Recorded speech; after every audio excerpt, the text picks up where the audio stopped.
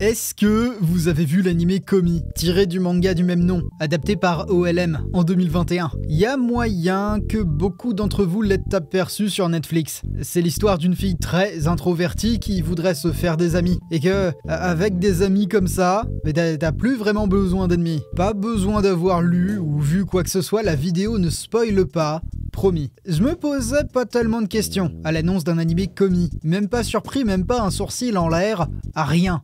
Manga à succès assez standard qu'on connaît pour sa formule simple avec l'idée de confronter Komi, la fille timide, à un cast composé uniquement de personnages complètement fous. C'est même poussé à l'extrême de l'extrême parce que tous les gens qui sont dans ce manga sont des clichés, avec des noms de jeux de mots potaches et aux personnalités basées sur les mêmes jeux de mots. Super animé, ça fonctionne très bien, mais on n'oubliera pas qu'il est adapté d'un manga dont les chapitres de 10 pages s'enchaînent aussi frénétiquement que des supporters allemands dans un bordel, avec tout ce que ça peut supposer. On va parler de ça. Dans le fond, Komi me fait vachement penser à un film que j'aime énormément, qui s'appelle Dernière année, un film de Bob Burnham de 2018. Peut-être qu'on en a déjà vaguement parlé dans la vidéo sur Papillusion, mais bon, comme personne ne l'a vu, je suis certain que je peux faire mieux. Si malgré tout vous faites partie des vrais gens qu'on a entendu parler, je vous remercie, mais non, mais ça aurait été dommage de pas confronter un animé sur une ado anxieuse à un film sur une ado anxieuse. Un long métrage formidable qui décrit avec pas mal de précision tous ces passages parfaitement gênants qu'on ressent en tant qu'ado. Genre faire un gros bide en offrant un cadeau d'anniversaire à quelqu'un qu'on connaît pas trop, ou péter son portable en le lançant contre un mur, accidentellement. Ouais, elle a, pas crié Rhino Shield, c'est sa faute aussi. Hein. Bref, après l'avoir vu, je pense que l'animé commis est coincé, de plusieurs manières. C'est pas un mal, il y a une masse de trucs à dire là-dessus, mais moi dans cette vidéo j'en ai trois. Komi est coincé parce que Komi est timide. C'est le premier propos du manga. Komi est un personnage qui souffre de phobie sociale. C'est le centre d'absolument tout et c'est ça qui vient donner le là à toute la série. C'est un de ces animés tranches de vie qui durent des centaines et des centaines de chapitres, mais c'est pas plus mal dans la mesure où Komi veut se faire une centaine d'amis. Effectivement, ça demande du temps.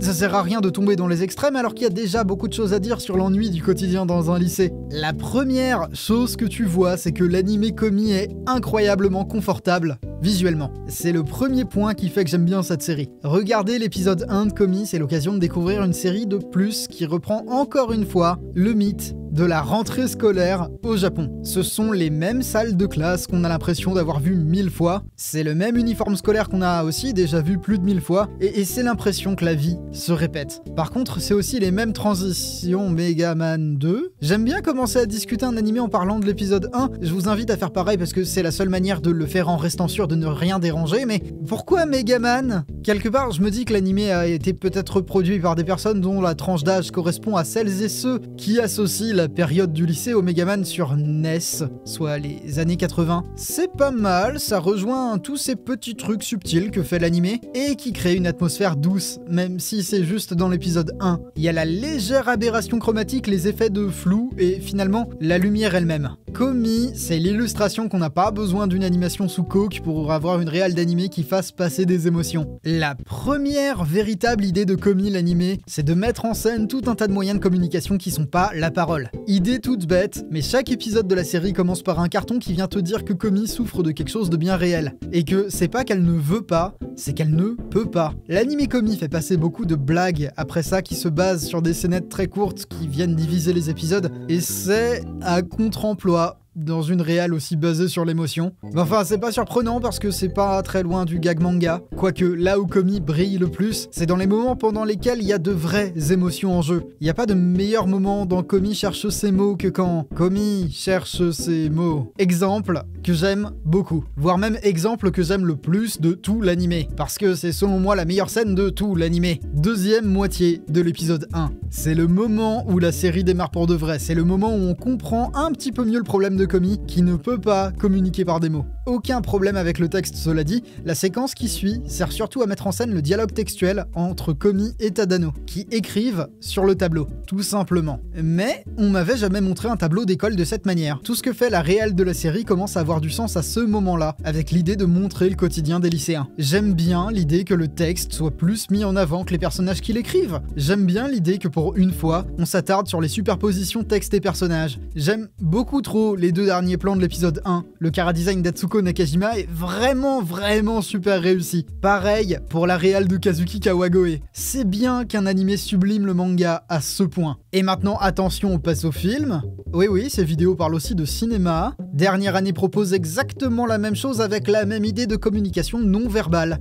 Tout se fait par les mots, surtout parce que ce sont des lycéens qui ne peuvent pas se parler. Tout se passe par internet. Il y a exactement les mêmes idées de superposer le personnage anxieux et le texte. Mais quel hasard, dis donc Peut-être bien que ce qui se dit est plus sérieux, cela dit, non parce que on aime bien esthétiser l'anxiété pour dire que Komi est belle à l'intérieur, tout ça, et qu'avec l'amitié on peut tout surmonter. Mais la série s'attarde pas trop sur ces moments moins bien, où on essaie de tasser l'anxiété en scrollant Twitter pour oublier qu'on existe dans les chiottes d'une fête chez quelqu'un qu'on connaît pas. Malheureusement, l'anime Komi montre rarement des choses réellement négatives. Le sommet de dernière année, je crois que c'est vraiment la séquence avec le portable pété, tu sais. Bon, ben elle aurait dû crier Rhino Shield avant de le jeter, certes. Et ensuite, juste, ben j'aime bien l'idée de bien être sûr de pas montrer l'anxiété comme un truc un peu cool et romantique. Non, parce que dissocier le texte du personnage qui l'écrit, ça reste une mécanique de mise en scène d'isolement. Et l'isolement, c'est rarement quelque chose d'agréable. Dans dernière année, la grosse idée de Burnham tourne autour des écrans et, surtout des supports de diffusion. Il n'y a pas de scène super poignante avec un tableau. Le film se passe pas mal à l'école, quoique pas tant que ça, parce qu'il parle de la fin du collège. Peut-être bien que la nuance, c'est que dernière année parle de la fin de quelque chose et commis du début. C'est des personnages qu'on sent ça vraiment le même âge. La démarche comique en moins, parce que l'anxiété quand tu la vis, c'est vachement moins marrant que l'anxiété quand tu la vois.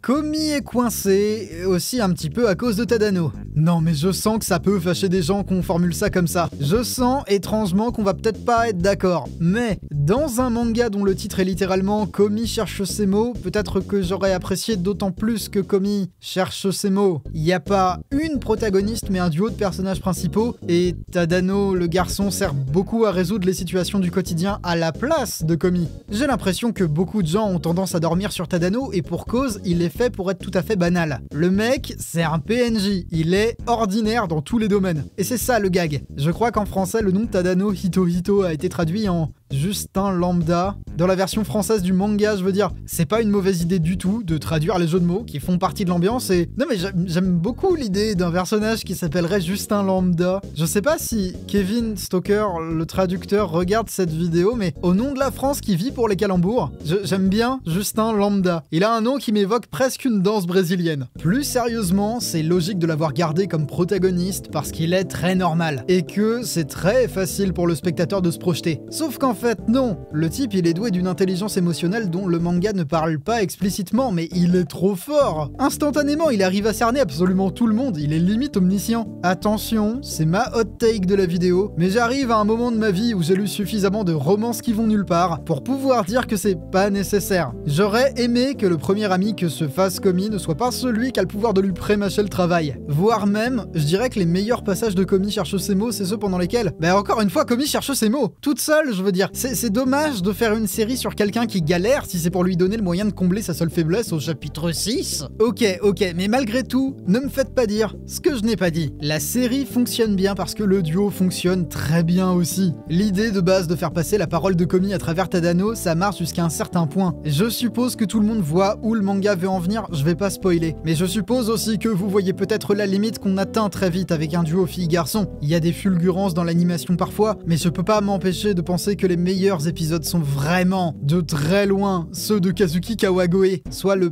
premier et le dernier de la saison 1, en plus de l'opening, en plus d'être le réal de la série dans l'ensemble. Ouais bon, il revient plus spécialement dans les épisodes 13 et 24 qui sont aussi les meilleurs de la deuxième saison, et c'est cool qu'il y ait une telle emphase dessus, mais bon, tout le monde n'a pas compris Komi comme lui, et je le déplore un peu. Regardez un truc tout bête qui est encore là dans l'épisode 1, c'est de montrer l'obsession des gens pour Komi, à travers la caméra d'un portable. Franchement, ils aiment bien décadrer les personnages. L'ending par exemple n'est composé vraiment que de ça, c'est pas mal comme idée. C'est plein de manières différentes de se demander comment les gens perçoivent Komi. C'est important dans une série sur l'anxiété et, et ça dépasse un peu les bornes du manga, qui est très bien mais malgré tout un petit peu limité. C'est un plaisir de voir des animateurs s'éclater à faire ça en tordant un petit peu le matériau d'origine. Kawagoe porte la série sur ses épaules, tant pis. Maintenant, après la pluie, le retour de dernière année. Là où Monsieur Brûle Jambon est un très bon réalisateur encore une fois, c'est justement quand il représente l'adolescence comme une grosse période de solitude. Tout dans dernière année est fait pour que tu te rappelles des moments de cringe intense que tu ressens quand tu es ado. Je ne sais pas si vous avez déjà été au milieu d'une conversation de gens qui avaient 18 ans quand vous en aviez 14, mais c'est particulier de laisser le temps filer sans pouvoir en placer une correctement. Le principe arrive plusieurs fois dans le film, mais j'aime par-dessus tout les moments où on montre la protagoniste à travers des écrans. Elle se filme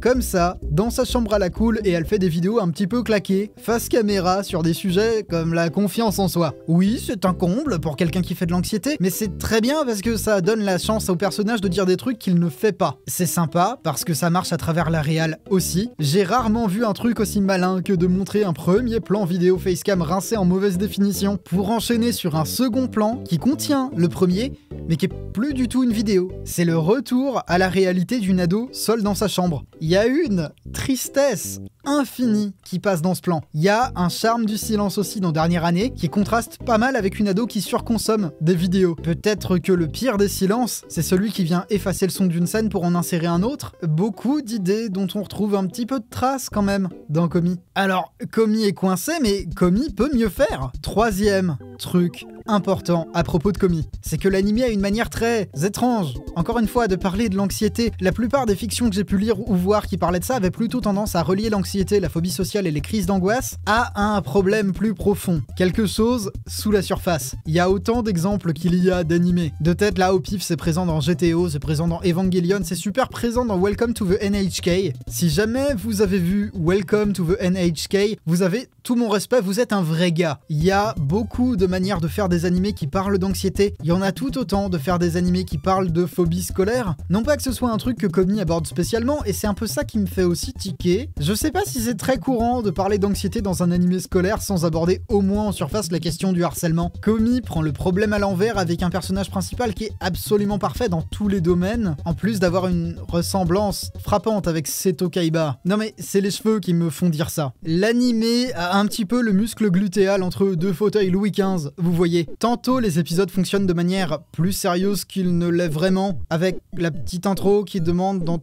tous les débuts d'épisodes de faire preuve de compassion et de contemplation pour fournir un truc touchant. Tantôt, t'as des épisodes comme le 14 qui viennent imposer du comique un peu loufoque en claquant tout ce qu'ils savent d'animation stylée. Désolé, mais ça me sort de l'ambiance. Choisissez, décidez-vous. Je sais pleinement que je suis en train de vous péter les noix avec l'épisode 1. Cependant, je suis certain que c'est vraiment l'apogée de Comi. Si, il y a peut-être le fameux combat de gomme qui fait appel à des trucs super stylés comme les impact frame et tout le boulot de Haruyoshi Nomura sur l'épisode 14. Mais est-ce bien ça que je cherche si on me bourre le crâne avec des histoires d'anxiété à chaque début d'épisode? Est-ce que finalement j'aurais pas eu tendance à préférer voir tous les passages où c'est vraiment du regard de commis dont on parle Dans le manga, c'est des instants relativement muets, forcément. Dans l'animé, je reviens sur le chara-design d'Atsuko Nakajima qui marche encore mieux sous la lumière de Tomo Namiki. La direction artistique de la série est globalement un point fort qui l'a fait dépasser du matériau original pour en faire quelque chose d'encore plus beau. Tout aurait été beaucoup mieux si à un moment on s'était dit qu'on allait faire quelque chose de cette beauté-là. Le découpage des épisodes donne plus de sens à l'histoire que celui du manga qui, excusez-moi, mais presque 400 chapitres plus tard commence à se faire bien sentir. C'est repris dans les grandes lignes dans l'animé avec son fameux format qui vient diviser les épisodes, mais bon, c'est une formule qui a des limites. Une vingtaine d'épisodes plus tard, j'ai beaucoup de mal à y voir plus que les mêmes flous gaussiens, la même très légère aberration chromatique et la réelle qui s'est essoufflée dès que Kawagoe a tourné le dos. On rigole, mais si ça se trouve, c'était vrai.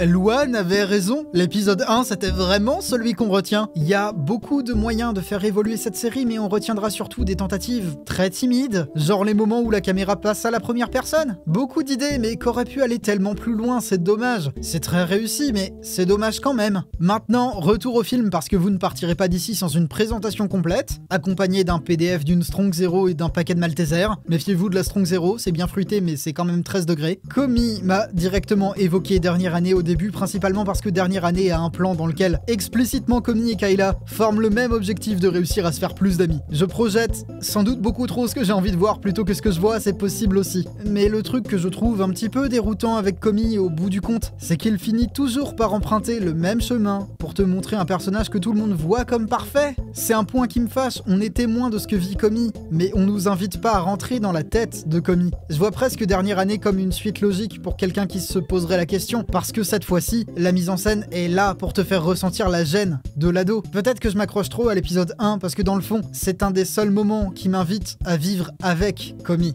et pas à rire de Komi. Pour conclure, euh, Komi est un super animé. Komi a beaucoup de bonnes, voire de très très bonnes idées. Komi est, cela dit, peut-être un petit peu trop limité par son matériau d'origine et des idées de la réal qui sont là mais auxquelles il manque un tout petit peu de contenu. C'est pas que la formule de la petite comédie loufoque en chapitre de 10 pages pose des limites assez rapidement, mais bien sûr que si Bien sûr qu'être obsédé par l'idée de rester dans les clous joue beaucoup. Il y a de très belles idées qui permettent de sublimer en l'état ce qui est déjà fait. Soyons pas vaches non plus, je vous recommande cet animé à 100%, mais je commence à penser que c'est dommage parce qu'il commence avec beaucoup d'idées qu'il décide lui-même de glisser sous un tapis. Alors soit il reste essentiellement du positif, à deux doigts d'être excellent, mais finalement non. C'est déjà très bien comme ça. Pour le reste, je t'invite à combattre l'algorithme et à m'aider. Abonne-toi.